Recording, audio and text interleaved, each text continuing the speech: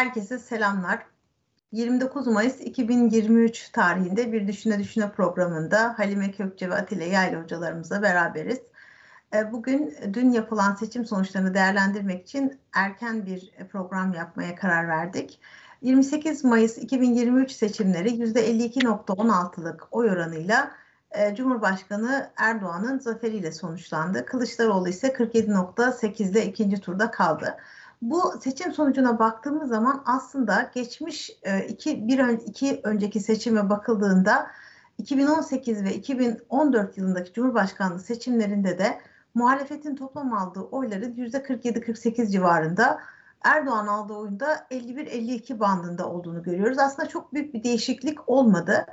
2018 ee, yılında da bir ittifak durumu vardı. 2014 yılındaki durum tamamen değişikti. O zaman sistem de henüz e, başkanlık sistemine geçilmemişti. Fakat bu son seçimi diğer seçimlerden ayıran çok e, değişik bir e, havası vardı. Öncelikle muhalefet kesin olarak %60'ın üzerinde bir oyla alacağına inanıyordu. çeşitli ittifaklar kuruldu. Altılı masa kuruldu. Bu masaya Yeşil Sol Parti olarak HDP dışarıdan destek verdi, tip destek verdi e, Cumhurbaşkanı adayı göstermedi ittifaklar. Daha sonra ikinci tura kaldı. Türkiye ilk defa iki turlu bir seçim sistemi olarak e, gerçekleştirdi seçim seçimini. Ve günün sonunda aslında sonuçta pek değişmedi. Bu üzerinde bizim çok konuştuğumuz bir konuydu. Şimdi bu sonuç bizi şaşırtmadı. Çünkü aşağı yukarı bunu da e, tahmin etmiştik.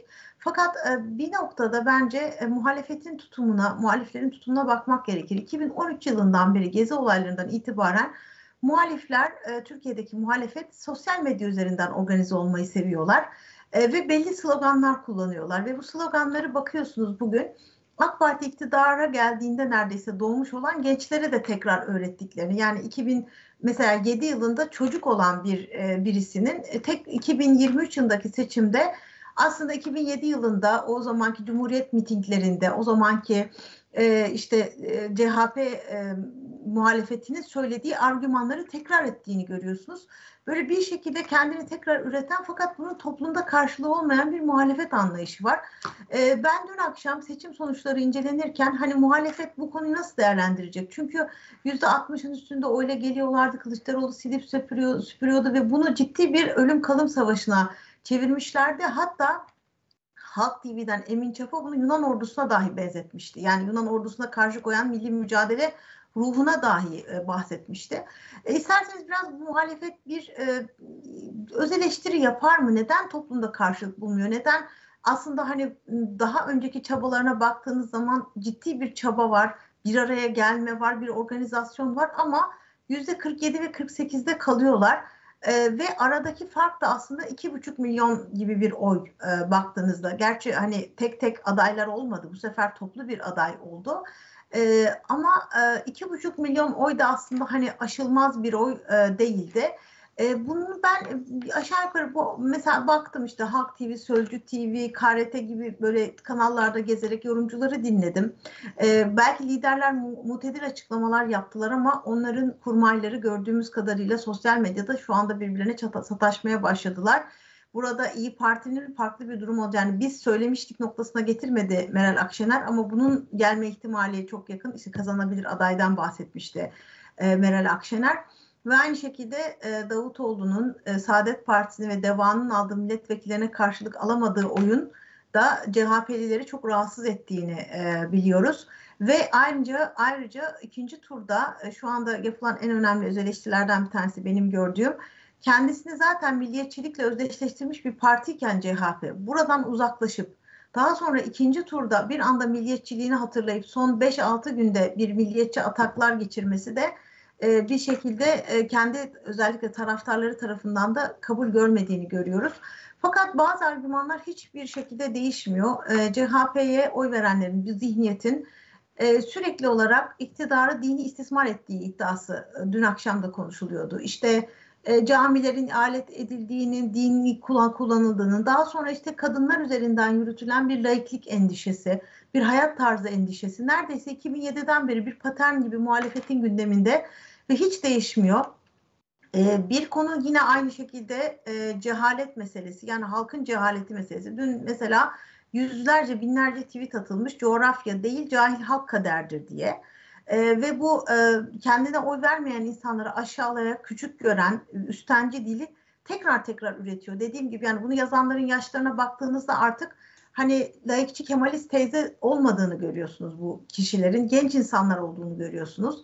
Ve e, bir meselede e, seçim ortamını kriminalize etmek için e, bence muhalefet çok çalıştı ve Türkiye ikinci turda gerçekten on, e, kimsenin sesini çıkaramayacağı şekilde sulh içinde gerçekten adil bir seçim yaptı ve sonuçlarda kimse tarafından şu anda e, iş, e, yani bir şekilde istismar edildiğine dair bir itiraz yok. Fakat seçim yapılmadan önce Türkiye'de seçimin yapılamayacağı, seçim güvenliği ile ilgili bir tartışma başlatıldı ve e, işte örgütlü bir kötülükten bahsedildi. Yani bir şekilde seçime gitme ortamını Türkiye'nin kriminalize etmek e, istedi, istendi. Yani Türkiye seçim yapamıyor, güvenli değil vesaire. Ee, ve bir bir noktada da e, Kılıçdaroğlu'nun alamadığı 2 milyon oyu e, kısıtlanmış seçim ortamına bağlamak. Çok yaygın bir tavır, bir, bir başka argümanda. Şimdi kısıtlanmış seçim ortamında yüzde 47 oy almışsınız. Yüzde 48'e yakın, yüzde 48'e yakın oy almışsınız aslında 47.8. İki, bir, iki puan daha alamamışsınız çünkü o seçim ortamı kanı yani kısıtlanmış. Halbuki hatırlarsanız işte seçim ortamında Babala TV'de yapılan yayınlar 20 milyon insan izliyordu o yayınları. Kılıçdaroğlu'nun yüklediği bir video 100 milyon insan izliyordu. Ne oldu hani Babala TV'nin bu seçim sonuçlarını belirleme gücü vesairesi vardı. O zamanlar pek ortam kısıtlanmış değildi. Ve e, bu bu noktada bir şey daha var. E, sonuçta seçim sistemi 50 artı 1. Yani siz 50-50 alıp da bir oy fazla bile alsanız böyle bir öngör, sistemin öngörüsü var. Siz kaçınmış oluyorsunuz. Ama alınan yüzde 48 oyu herhalde yüzde 20'ye 70 ya da 80 olmasını bekliyorlar ki adil bir seçim ortamının. E, yüzde 50'nin oy verdiğine yani yüzde 52'nin verdiği oya değil şu anda yüzde 48'in vermediği oya konsantre olmuş durumdalar. Kendileri muhalifler mesela e, iktidar yürüyüşlerinde henüz iktidara gelmeden Cumhurbaşkanı yardımcılıkları falan dağıtıp kendilerine iktidara gelmiş zannederken benim gözlemlediğim şöyle bir durum var. Henüz iktidara gelmeden insanları yargılamayı, belli kurumları kapatmayı, Diyanet gibi mesela, e, belli insanlara hesap sormayı ve topyekün bir yani bir öfke ve nefret kusarken Şimdi mesela şunu diyorlar yüzde 50 oy vermedi yüzde 48 50 de değil ve şimdi bu insanların niye oy vermediğini AK Parti düşünecekmiş ama mesela yüzde 52'nin neden muhalefet oy vermediğini muhalefetin düşünmediğini e, görüyoruz. Yine en son T, T24'te dün gördüm biliyorsunuz e, seçim ortamı akşamı olunca uluslararası medyada yayınlanır bütün liderlerin tebrik mesajları veya işte medyaların kendi sosyal şeylerin yorumları. E, onlarca e, devlet başkanı, Cumhurbaşkanı Erdoğan'ı kutladı seçim sonuçlarını. Hatta batılı liderlerin birazcık e, ses tonlarını ve konuşmalarını bile e, ses tonlarını derken yani yazı yazı tonundan bahsediyorum. E, biraz alçalttıkları ve biraz daha böyle e, ders verir nitelikte değil eşit düzlemde e, bir e, ilişki kurduklarını gözlemledim. E, ama dün akşam T24'te e, Taliban ve Hamas'tan Erdoğan'a tebrik yani diye bir e, e, başlık gördüm. E, baktım diğer liderleri yazmış mı hani tek tek yazmış mı Azerbaycan'dan tebrik, Gürcistan'dan tebrik, işte Macron'dan tebrik gibi. E, bunları yazmadan bir tek Taliban ve Hamas'tan işte bu sürekli olarak iktidarı kriminalize eden kafanın da pek değişmediğini e, görüyoruz. E, ben bu şekilde okudum muhalefeti, din istismarı, laiklik endişesi, kadınlarla ilgili konular, cehalete e, atıf verme, ortamı kriminalize etme, seçim ortamının yapılamayacağı üzerinden insanları paniğe sevk etme, yüzde elli kendilerinin oy vermediği üzerine yoğunlaşma, e, daha iktidara gelmeden yargılayacağız meseleleri ve işte sürekli olarak iktidarı bir radikal İslam'la, e, kriminalize ortamla vesaireyle eşleştirme şeklinde e, bir de kısıtlanmış seçim ortamında kendilerinin bir kampanya yürüttüklerini e, iddia etmek günün sonunda bu bana hani elektrikler kesildi ödemi yapamadığıma benzedi. E, bu konuda Atilla Hocam'la başlayayım. Hocam sizin görüşleriniz nedir? Teşekkür ediyorum. E, her şeyden önce e, vurgulanması gereken bir nokta var. Bu noktada Türkiye'nin e, hayli zor olan iki seçimi peş peşe başarıyla gerçekleştirmiş olması. Ee, Cumhurbaşkanlığı seçimi birinci turu 14 Mayıs'ta, ikinci turu 28 Mayıs'ta yapıldı. Parlamento seçimleri ise 14 Mayıs'ta yapıldı. Siz de işaret ettiniz, e, muhalefetin e, çeşitli provokasyonları vardı. ve şöyle bir iddia da çok yaygın bir şekilde dile getirildi. Bu iktidar seçimle gidecek bir iktidar değil. Eğer tehlikeye düştüğünü görürse bir seçimde pozisyonunun Türkiye'yi bir çalkantıya sürükleyecektir. Bir yurt dışına askeri operasyon başlatacaktır bir olağanüstü hali, olağanüstü durum ilan edecektir ve bir şekilde iktidarda kalmanın yollarını arayacaktır şeklinde e, çeşitli senaryolar ortalıkta dolaşmaktaydı. Onlardan birisi de mesela Sevan Nişanyan'ın akıllara ziyan senaryosuydu. Belki sosyal medyada görmüşsünüzdür. Bütün bunlara rağmen e, Türkiye sağ salim büyük bir başarıyla bu iki seçim gerçekleştirirdi. Bu bakımdan Türkiye ve Türkiye demokrasisi kutlanmayı hak ediyor. Türkiye'de seçmenler seçim sistemi ve Türk demokrasisi gerçekten kutlanmayı hak ediyor. Seçimin Cumhurbaşkanlığı seçiminin ikinci tura kalması Türkiye'nin demokratik kredibilitesini yükseltmiştir ve bütün iddiaları boşa düşürmüştür. Netice itibariyle bir diktatör ikinci tura gitmez. Bir diktatör ilk seçimi ve yüzde 90, yüzde 95 gibi bir oy oranıyla normalde kazanır.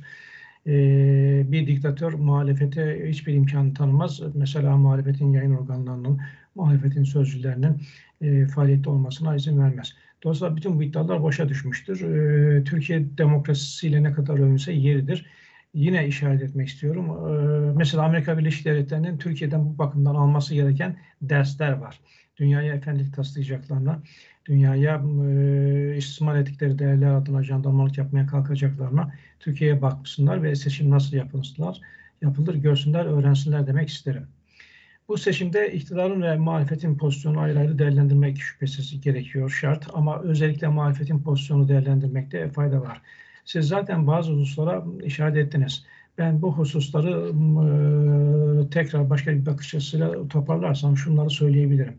Şimdi muhalefet öncelikle oyların çalınacağı yolunda bir kampanya yürüttü ve buna ciddi bir şekilde kendisini yandırdı. Bu tür iddialar e, hemen hemen her seçimde özellikle son seçimlerde gündeme gel, geliyor.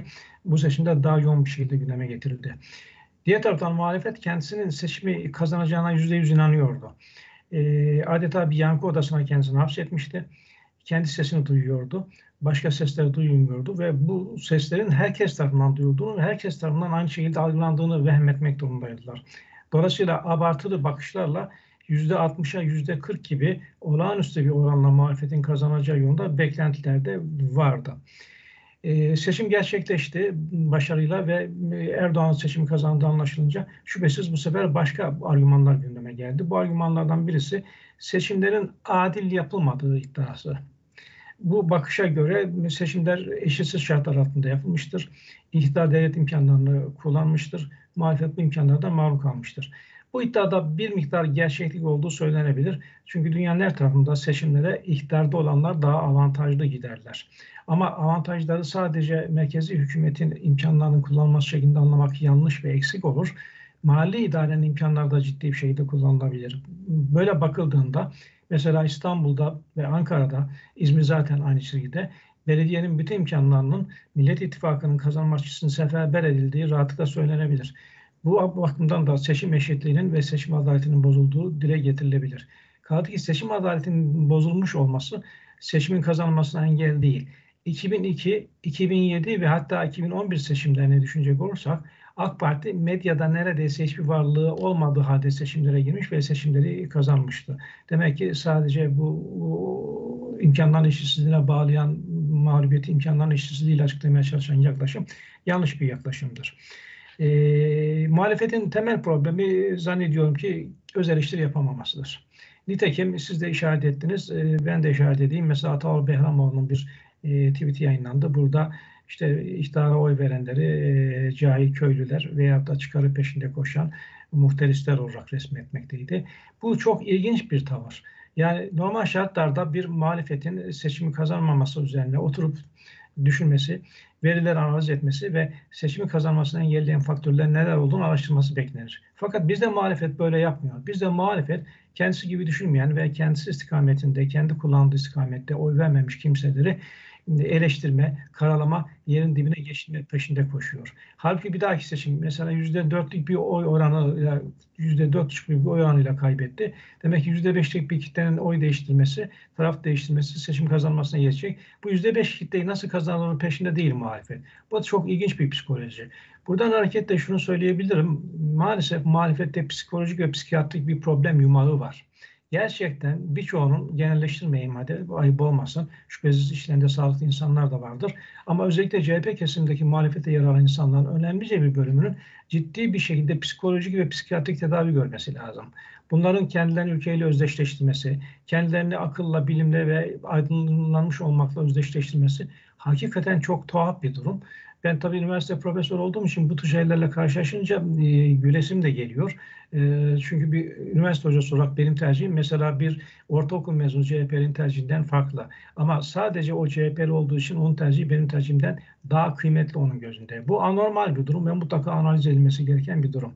Bir diğer e, sarındıkları e, dal da e, geçenlerde mesela dün akşam Çiğdem Toker'in söylediği gibi demokrasi sandıktan ibaret değildir teranesi oldu. Şüphesiz demokrasi sandıktan ibaret değildir ama sandık demokrasinin hem neticesidir hem de başlangıcıdır. Bir yerde sandık olması o yerde birçok temel hak ve özgürlüklerin olduğunu gösterir. Mesela ifade hürriyetinin, basın hürriyetinin, teşkilatlanma hürriyetinin, alternatif siyasi partiler kurma hürriyetinin, siyasi seçimlerde eşit şartlarda yarışma hürriyetinin falan olduğunu gösterir. Dolayısıyla sandık tek sandıktan ibaret değildir. Sandık arkasında başka şeyleri taşıyan bir araçtır aslında. Bunu görmemeleri de son derece ilginç bir durum. Dolayısıyla bu kafayla muhalefetin Türkiye'de seçim kazanır bir pozisyona gelmesi bana göre son derece zor. Bunu yapabilmek için ciddi bir şekilde oturup öz eleştiri yapmaları lazım. Ciddi bir şekilde seçmen kitlelerine bakışlarını revize etmeleri, gözden geçirmeleri ve yenilemeleri lazım. Ama bunu yapabilirler mi?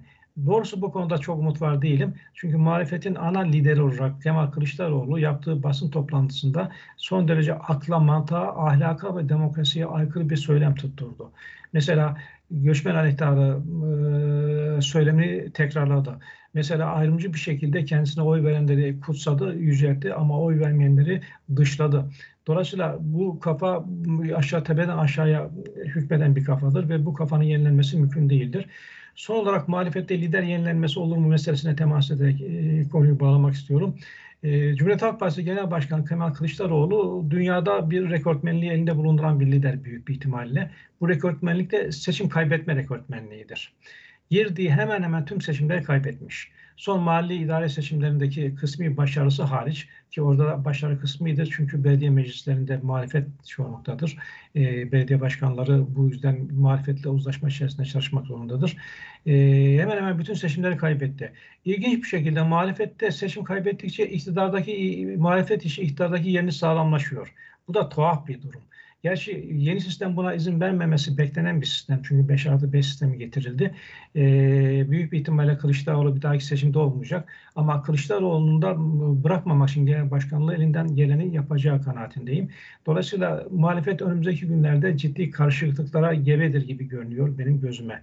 Diğer partilere gelince diğer partiler arasında sadece iyi Parti değerlendirmeye değer. Diğer partiler kendisi e, var olmayan, adı var olan ama Millet Meclisi'nde e, milletvekilleri bulunan e, tabi siyasi partileridir. İyi Parti de evet. ciddi bir masipeden kendisini geçirmek zorunda. Bu Millet İttifakı'nın dağılmasıyla sonuçlanabilecek bir süreci başlatabilir.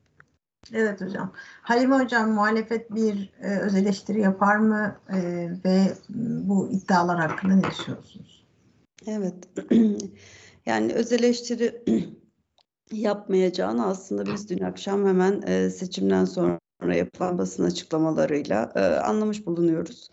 E, öz eleştiri yapmayacağı muhalefetin içinde bir takım değişikliklerin, kazan kaldırmaların, e, ayrışmaların, e, rahatsızlıkların baş göstermeyeceği anlamına gelmiyor kuşkusuz. E, çünkü ortada yani bu muhalefet blokunu bir araya getiren e, asıl maya, e, asıl e, etken biliyorsunuz anti Erdoğanizmiydi ve e, bununla yüzde altmışlara varan oy, oy alacaklarına e, inan kendileri inanmasa da aslında okurdukları masayı seçmen nezdinde meşru göstermek için bunu çok yüksek sesle dile getirdiler biliyorsunuz. Hatta Yani e, gerçekten enteresan bir şey. Hani benim açılması gereken başlıklardan birisi olduğunu düşünmeme yol açıyor. Bir kalite, bir anlama, bir zeka hatta sorununa tekabül ediyor bence. E, bak baktığınızda işte muhalefet e, medyasına e, işte yüzde 60'lar, yüzde 65'ler geri sayım başladı. Balkonun altında mı konuşma yapsak, üstünde mi konuşma yapsak, işte partilemeyi nasıl yapsak gibi hani bir medya mensubunun asla söylememesi gereken ya da kendine yakıştırmaması gereken tarz ve üslupla muhalefet medyasında e, işte seçimin öncesinde bir takım işte nümayişler e, yapılmaya başlanmıştı. Ben hani hususen bazı isimlerin de altını çizmek gerektiğini düşünüyorum. Bunlardan birisi mesela Emin Çapa, bir diğeri Ayşe, Ayşenur Aslan, bir diğeri Fatih Portakal gibi birkaç isim var özellikle. Gerçekten hani mesela artık onlar için gazetecilik vesaire değil e, hani militanlık da değil bence e, bir bir tür demans gibi ya da e, hakikaten hani bir muhalif seçmenin baktığında utanacağı e, denli e, gazetecilikten e, akademisyenlikten, akil insanlıktan, kanaat önderliğinden her şeyden çok uzak toplumu okuyamadığı gibi toplumla alay eden bir yaklaşımı böyle yaygınlaştırdılar ve e, ben hani son tahlilde baktığınızda ortada ciddi bir kalite farkı e, da olduğunu görüyorum. Şimdi pek çok hususa değindiniz. Hani üzerine ne ekleyeceğimi çok fazla bilmemekle beraber hani bunun altını çizmeyi çok önemli buluyorum. E, doğrusunu çok söylemek doğru, gerekirse. Evet. Bunca e, yıl biliyorsunuz e, işte hükümete yakın medya organları, hükümete yakın gazeteciler işte yandaş e, tırnak içine parantezine alınmak suretiyle aşağılandı. E, oysa toplumu okuyan, dünyayı okuyan, dış politikayı okuyan, gerçek anlamda gerçekle yüzleşerek tahlil yapabilen, analiz yapabilenlerin hükümete yakın gazeteciler ve medya organları olduğunu biz bir kez daha görmüş olduk ve e, gün geçtikçe aslında diğer tarafta e, belki işte Atilla Hoca'nın ifade ettiği gibi yani bir e, yani nasıl ifade edilir hani böyle bir psikolojik rahatsızlıkla belki izah mümkün olabilecek bir akıl tutulması na dönüştü mesele. E, burada ben hani bunun hakikaten böyle oturup muhalefetin bu mevzu niye böyle e, oluyor sorusunu sormaktan hala uzak olduğunu düşünüyorum. Çünkü bir matematiğe inandılar ve bu matematiğin onlara kazandıracağını düşündüler. Bu matematiği de bence hakikaten oturup tahlil etmek gerekiyor. E, Meryem Hocam siz ifade ettiniz yani son üç seçim Cumhurbaşkanlığı seçimi değil mi? Yani hepsi halk tarafından seçilen ve aslında e, ikinci tura kalmamış olsa bile muhalefet blokunu topladığınızda e, bugünkü sonucun çok benzeri sonuçlarla e, neticelenmiş son iki seçimde yani son üç seçime baktığınızda Türkiye'de işte Erdoğan'ın aldığı oyla muhalefet bloğunun aldığı oy arasında arasında işte iki puanlık üç puanlık bir fark var. Şimdi bu iki üç puanlık fark neye tekabül ediyor? Bence hani bunu buna bakmak lazım. Dolayısıyla Erdoğan'ın güttüğü siyaset neye tekabül ediyor? Muhalefetin güttüğü siyaset neye tekabül ediyor? Belki bunu ayrı bir, bir e, programda konuşmamız icap eder. Çünkü bu aslında işte Türkiye modernleşmesiyle e, çok paralel bir izlek ben e, ben öyle görüyorum açıkçası. Yani burada Türk modernleşmesinin e, temel arızalarının açtığı bir yarık var. E, ve ben işte bu dinle olan mesele, işte efendime söyleyeyim etnik kimlikle olan mesele, e, işte bu e, vatandaşı, sıradan halkı hakir görme, aydınlanmamış, kara cahil, eğitilemez olarak nitelendirme. E, bütün bunlar aslında işte toplumu öteden beri doğru okuyamayan ama okuyamaya okuyamaya yüzde işte 40'lara 47'lere varan da bir hani kitleyi konsolide edebildiğini e, gören ve buna sıkı sıkıya tutulan bir muhalefet var. Yani bu matematik hesabını kutsadılar. Buradan bir işte yol bulacaklarına inandılar ama oradaki o bariyerin o sınırın yani aşamadıkları o sınırın aslında bir Türkiye müdafaa sınırı olduğunu göremediler. Tosladıkları şey aslında Türkiye. Tosladıkları şey Erdoğan değil. Tosladıkları şey Türkiye. Çünkü biz hani son özellikle bu, bu seçim e, özelinde konuşursak hep neyi söyledik? Yani siz işte Türkiye'de ırkçılık yani batı tipi ırkçılık yaparak bir yere kadar gidebilirsiniz. Bir Ümit Özdağ olabilirsiniz. Daha fazlası olamazsınız. Ya da işte efendime söyleyeyim hani PKK'nın e, siyasi beklentilerini meşru siyasi zemine e, taşımaya çalışarak işte HDP olabilirsiniz diyelim ki ve HDP'nin de elitleri olabilirsiniz ancak yani e, aşağı doğru indiğinde HDP'ye oy veren her seçmenin de e, doğru söylemek gerekirse ben hani HDP elitlerinin siyasetiyle ortak bir noktada buluştuğunu düşünmüyorum ama işte Kürtlerin partisi deyip veren bir takım seçmen var.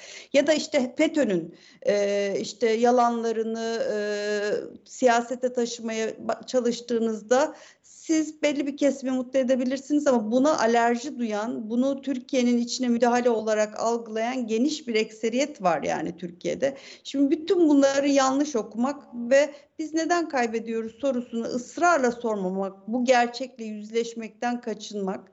Ben hani bunun muhalefet bunun muhasebesini yapacak mı çok emin değilim ama şu olacak tabii ki. Yani şimdi şimdi seçim bütün partiler için geçerli. Kongreler başlayacak. Şimdi Kemal Kılıçdaroğlu da Meral Akşener de o koltuklarında rahat ve huzurlu oturamayacaklar. Kaldı ki o bahsettiğimiz küçük partiler inanın yani oturdukları koltuklar onlara haram edilecek. Neden haram edilecek? Tıpkı işte e, ki o ki o, o ondan çok daha beter bir durum. Hatırlarsanız HDP'li milletvekilleri İyi Parti'ye parmak sallıyordu. O koltuklarda bizim sayemizde oturuyorsunuz diye. Şimdi o 38 milletvekiline Cumhuriyet Halk Partilileri diş bileyecekler. Ee, orada huzur bulamayacaklar. Dolayısıyla ben hani muhalefet bu, muhasebeyi yapsa da yapmasa da muhalefet açısından bir dönüşüm, bir değişimin zaruri olduğu yeni bir sürece giriliyor. Ben hani öyle değerlendiriyorum açık söylemek gerekirse. Kemal Kılıçdaroğlu her ne kadar bir, bunu bir yenilgi olarak e, kaydetmese de e, biliyorsunuz yani o hiçbir yenilgiyi yenilgi olarak kaydetmiyor. Garip bir şekilde işte Cumhuriyet Halk Partisi'nin kendi tarihindeki o bir türlü iktidar yüzü görememiş Cumhuriyet Halk Partisi'nin e, oyunu birazcık yükseltmiş olması ya da işte 25 25 yani. Değil mi? Daha fazla alamadı. 24 küsur aldı yine. Bunu bir başarı olarak e, görüyor. Bir stratejinin mimarı olarak kendini lanse ediyor. E, ben hani o bir tarafa ortada şöyle bir gerçek var. 2001 yılında kurulmuş 2002 yılında iktidar olmuş ve 16 seçimdir seçim kazanan yani namalup bir parti namalup bir lider var ortada. Ee, yani bunu en azından hani bugün e, bunu onu kutlayalım, onu tebrik edelim e, diye düşünüyorum. Gerçekten Erdoğan figürü Türkiye siyasi tarihinde değil sadece, dünya siyasi tarihinde de kendine has bir lider profili olarak yazılacak. Yani tarih nasıl yazacak bunu göreceğiz ama e, Türkiye'de büyük Türkiye idealini ortaya koymadan, Türkiye yaptığı Türkiye'ye yatırım yapan bir siyasi perspektif ortaya koymadan, siyaseti hizmetle özdeşleştirmeden bu millet oy veriyor tabii ki. Yani ideolojik oy veriyor ama bir yere kadar Türkiye'de efendim Altılı masa dağılır mı hocam bu süreçte daha sonrasında? Ben tabii ki dağılacağını düşünüyorum altılı masanın ama tabii önümüzde bir İstanbul seçimi var. Şimdi seyredip göreceğiz. Hani İstanbul seçiminde e, bir önceki İstanbul seçiminde bu taktikle kazanmışlardı ve aynı taktiğin onlara e, genel seçimi Cumhurbaşkanlığı'nda kazandıracağını etkin, etkin değildi. Bu öfke sebebiyle yani Davutoğlu e, ve Babacan yer alır mı bu ittifakta tekrardan? Ee, şimdi bu yerel seçimler olması hasebiyle e, hani bu kadar e, parçalı bir ittifak içine girme ihtiyacı duymayabilirler belki. Hani bunu ayrıca konuşuruz. Ee, ben hani bir öfke onlara yönelecek bir öfke olduğunu düşünüyorum açıkçası. Evet. Ee, zaten hani bunun emarelerini seçimden önce bile hissetmiştik. Ee, ama hani İstanbul'da da bu modelin Ankara İstanbul'da bu modelin tuttuğunu tuttuğu için de Cumhurbaşkanlığı seçimine bu model modellerle girilmesi gerektiğini ne ikna ettiler kendilerini. Ben e, tekrar yerel seçimlerde bu modeli çalışacaklarını düşünüyorum açıkçası. Burada küçük partiler değil, İyi Parti'nin nasıl davranacağı bana kalırsa önemli. Tabii ki yine de işte e, İmamoğlu, Mansur Yavaş gibi faktörler üzerinde İyi Parti'nin bir etkisi olduğunu biliyoruz. Hani orada denklem nasıl kurulur? İyi Parti mesela Meral Akşener e, e, bu iki ismi destekler mi? E, bu iki isim Evet. Cumhuriyet Halk Partisi tabanında artık nasıl karşılanır? Bütün bunlar e, konuşulması gereken şeyler ve hani biraz da okumak lazım. Çünkü mesela dün akşam İmamoğlu bir açıklama yaptı. Biliyorsunuz ilk turdaki e, açıklamasında güle, gülünç duruma düşmüşlerdi Mansur Yavaş'la beraber. E, yaptığı açıklamada hiç mesela işte Kemal Kılıçdaroğlu'nun mücadeleye devam söylemini tekrar etmeyen bilakis değişim vurgulu bir mesela açıklama yaptı. Bütün bunları biraz okumak bir iki hafta en azından Evet. İzlemek lazım muhalefet cenahında olup bitenleri. Ama bence hani önce bir tebrik edelim gerçekten. Türkiye'yi tebrik edelim. Cumhurbaşkanı Erdoğan'ı tebrik edelim. İnsanüstü bir performans sergiledi ve hani şunu açıklıkla söylemek lazım. Hani ben kurduğu stratejide Erdoğan figürünü Türkiye'nin kaderiyle, büyük Türkiye idealiyle örtüştürebildiği için Erdoğan kazandı. Evet. Ee, ve millet buna oy verdi. Hocam e, Atilla hocam bir cümleyle alacağım sizden. Çok az vaktim kaldı. Bir dakikam var. E, Millet İttifakı dağılır mı? İyi Parti ne yapar? Ee, Ben de Halim Hanım'la aynı görüşteyim. Millet İttifakı muhtemelen dağılır ama e, İstanbul seçimlerini, Ankara seçimlerini atlattıktan sonra dağılabilir diye düşünüyorum. Peki çok teşekkür ediyorum.